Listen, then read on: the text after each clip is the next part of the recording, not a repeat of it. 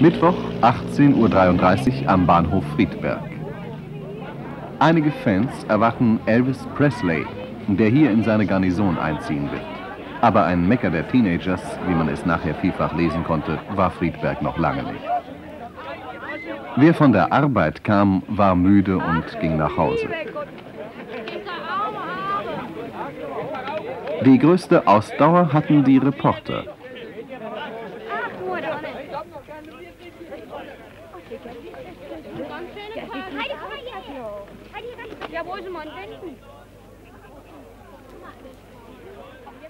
Nur diese drei Mädchen standen zur rechten Zeit am rechten Ort, denn der Zug kam nicht am Bahnhof, sondern auf dem Anschlussgleis der Kaserne an.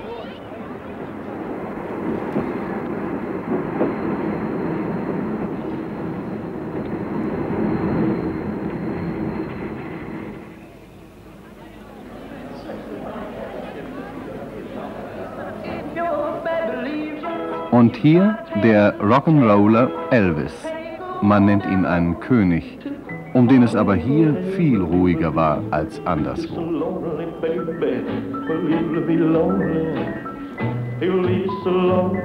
you.